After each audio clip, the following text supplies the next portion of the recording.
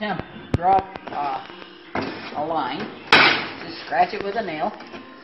Then I come over here, and I got this handy cutter. I kind of cut it close to the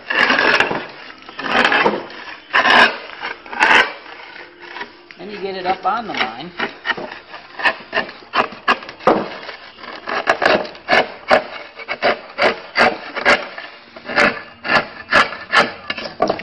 To get rid of some of the collect underneath.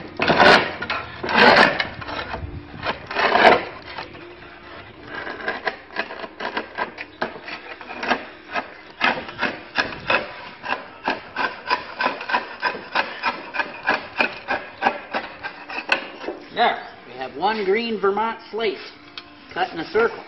Over here we have purple ones.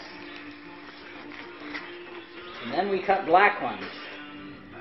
And then we got, after 900 and some more, we'll be done cutting them.